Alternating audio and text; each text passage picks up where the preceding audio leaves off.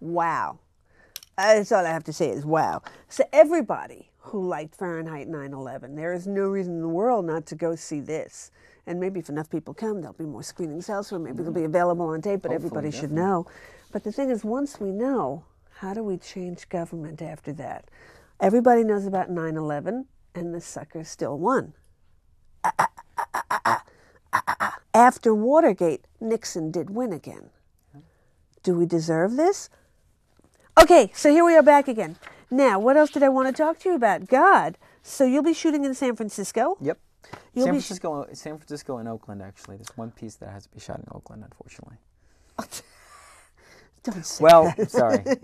I wanted to be the San Francisco trilogy, but there's some things I couldn't get. Yes, but sometimes you have to leave San Francisco to come back Yeah, again. I mean, that's part of being in San Francisco, crossing Yeah. bridges, coming back. Exactly, Bay Area. Except I don't, because I get nosebleeds when I cross bridges. Really. It's a whole like anxiety thing. Well, it's good you have a good city to stay in then. This is a good place. Yeah, good place to get stuck. Yeah. You know, this great little prison here. Your beginnings was interesting to me because, uh, okay, you started in Detroit. You eventually found out, decided you wanted to be a filmmaker, but you did not study film. Nope. You studied photography. That's most of my background, actually.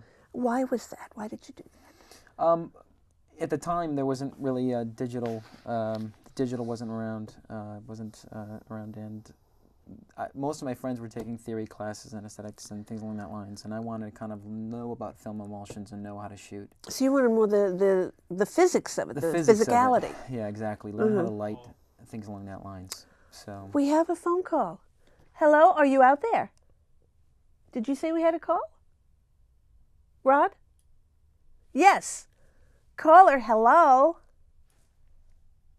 I'm not hearing anybody. Well, if the caller does come back, we can always let him break in. Right now? Okay. But thank you for my, let me just remind everybody too the, the phone call phone number.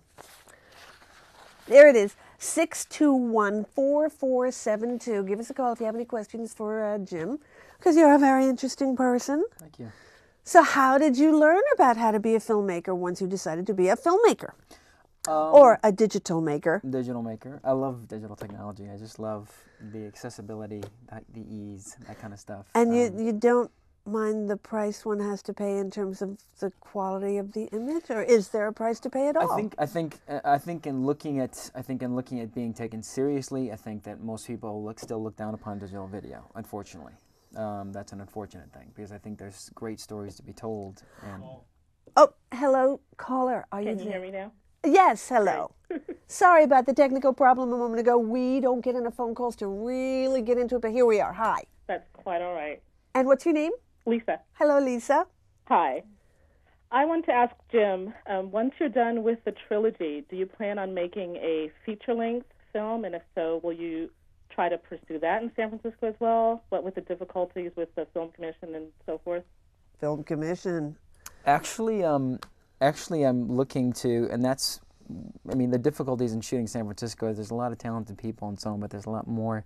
th- th- There's a lot more expectations, and most of the, the feature length screenplays that I actually have are Detroit based. So I'll probably be shooting uh, shooting in Detroit. Oh, but you said, but you said making filmmaking in San Francisco. It says right there on the website, which by the way is not a and e dot com. It's a and e a and i pick dot com. Pardon me.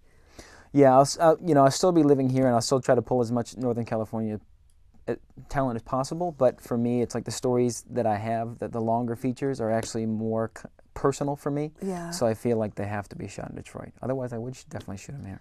Well, by the time you finished your first feature film, you will have lived here longer, and you might have feature stories to tell no, about here later No, on. I definitely do. I So- definitely have some, but I don't necessarily th- looking at the San Francisco stories that I have. Uh, I think that um, Mm-hmm. They're I still just, shorts.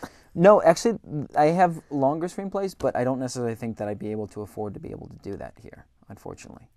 Because the city is not kind to filmmakers. No, I think it's just the level of story. I think that the in looking at production values and things along that lines, I just don't think I could do justice to them. You know, my first my first film initially, the first screenplay that I wrote was supposed to be more of a genre piece, but when I took a look at the screenplay, I decided that number one was better because I could afford to do it. I could do it right, and I think that that's one of the things that I've seen in a number of think short films is that they're they're going for genres. Um, personally, in my opinion, they're they're kind of going for genre work, things along that lines, and, and they don't necessarily have the budgets to do that. Mm-hmm. And I find that that the work suffers, and you're not necessarily taken seriously. So it's kind of you know while it is genre work, I think that's kind of a double edged sword to a certain extent.